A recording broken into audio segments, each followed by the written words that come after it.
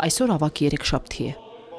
Ավակ 3 շաբթին 10 կույսերի հիշատակության օրն է։ 10 կույսեր սպասում են Փեսային։ Նրանցից 5-ը, որ իմաստուն են համարվում, ձեթ ունեն պահած լապտերների համար։ Մյուս 5-ը, որ հիմար են համարվում, հոգ չեն տանում ձեթ պահելու համար։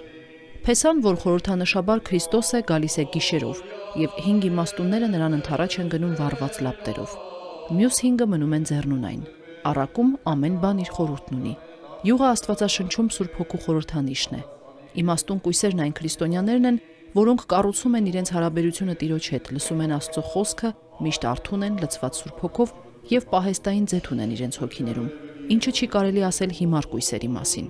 Ավակ 3 շաբթի երեկոյան ժամերգության ընթացքում եկեղեցու ատյան են դուրս գալիս 10 մանուկներ։ Նրանցից 5-ը ձեռքներին պահած ունենալով վառվող մոմեր խորհրդանշում են իմաստուն կույսերին, իսկ մյուս 5-ը հանգած մոմերով խորհրդանշում են հիմար կույսերին։ Ամեն անգամ պիտի հիշենք, որ յուրաքանչյուր պահ կարող է Քրիստոսի երկրորդ գալուստը լինի եւ յուրաքանչյուր պահ մենք պիտի պատրաստ լինենք մեր արարքների համար պատասխան տալ։